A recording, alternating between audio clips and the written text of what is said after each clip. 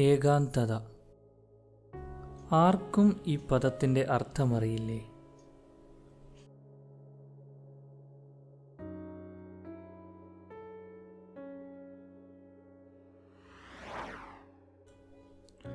ആർക്കും ഈ പദം കേൾക്കുമ്പോൾ കരുണ എന്ന ഭാവം വരികയില്ലേ?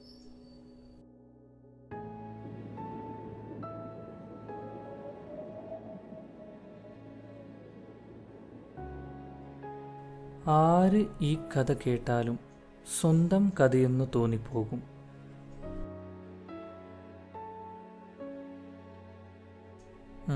അതാണ് ഏകാന്തത.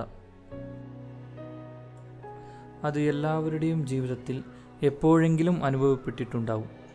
ഇപ്പോൾ ആ ഏകാന്തത എന്റെ ജീവിതത്തിലും വന്നിട്ടുണ്ട്. ഓരോരോ സമയത്തും ചിന്തിക്കും ദൈവമേ ഇതെപ്പോഴാണ് എന്നിൽ നിന്നും അകന്നു പോകുന്നത്? എപ്പോഴാണ് ഇത് എന്നെ വിട്ടുപോകുന്നതെന്നും ചിന്തിക്കാറുണ്ട്. ഈ ഏകാന്തത എന്നെ വിട്ടകലാൻ ഞാൻ എന്തെല്ലാം ചെയ്തു നോക്കി? ഓടി നോക്കി. ചാടി നോക്കി. കളിച്ചും നോക്കി.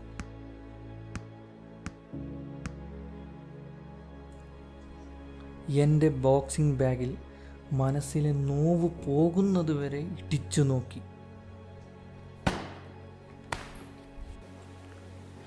പെരുമഴയിൽ ഇരുന്നു കൊണ്ട് എന്റെ മനസ്സിലെ നോവിനെ ഓർത്തുകൊണ്ട് ഞാൻ നനഞ്ഞു.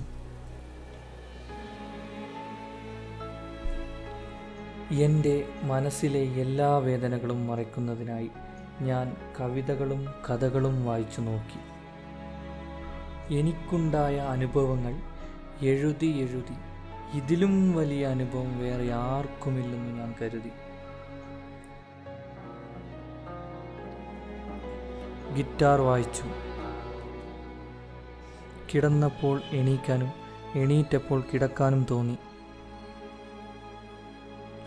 അവസാനം സമാധാനമാകാതെ ഞാൻ ഏങ്ങി ഏങ്ങിക്കരഞ്ഞു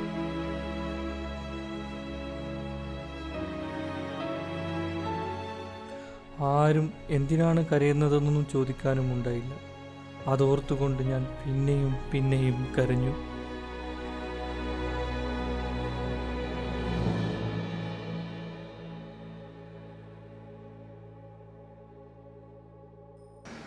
പിറ്റേ ദിവസം ഞാൻ ഫ്രഷായി ചായ കുടിച്ചുകൊണ്ടിരിക്കുന്ന സമയത്ത് ഞാൻ എന്താണ് ഇങ്ങനെ ആയതെന്ന് ചിന്തിച്ചു കൊണ്ടിരിക്കുന്നു ഒരു കോൾ വന്നു. ഹലോ. സർ ജോലി സംബന്ധമായ കാര്യത്തിനായി നിങ്ങൾ നാളെ ഡൽഹിക്ക് പോകണം. ആരൊക്കെ? ആരുമില്ല സർ തനിയാ പോകണം.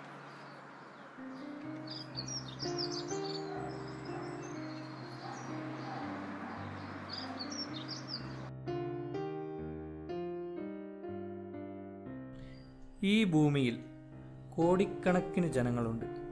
എന്നിട്ടും നിങ്ങൾ തനിയാണെന്ന് തോന്നുന്നുവെങ്കിൽ അതിന്റെ അർത്ഥം നിങ്ങൾക്കാരുമില്ല എന്നല്ല. മറിച്ച്. ഇവിടെയുള്ള എല്ലാവരും എങ്ങനെയുള്ളവരാണെന്ന് നിങ്ങൾക്കറിയാമെന്നാണ് അർത്ഥം ഏകാന്തത എന്നത് നമ്മുടെ കൂടെയുള്ളതും നമ്മളെ വിട്ടുപോകുന്നതുമല്ല. നാം ജനിക്കുമ്പോൾ മുതൽ നമ്മുടെ കൂടെ ഉണ്ടാവുകയും നമ്മൾ മരിക്കുമ്പോൾ നമ്മുടെ കൂടെ മണ്ണാവുകയും ചെയ്യുന്നു. എല്ലാവരും നമ്മുടെ കൂടെയുള്ളപ്പോൾ നമ്മളത് മറന്നു പോകുകയും എല്ലാവരും നമ്മളെ വിട്ടുപോകുമ്പോൾ അത് നമ്മുടെ ഓർമ്മയിൽ വരികയും ചെയ്യുന്നു. അതാണ് ഏകാന്തത. a field that never leaves anyone.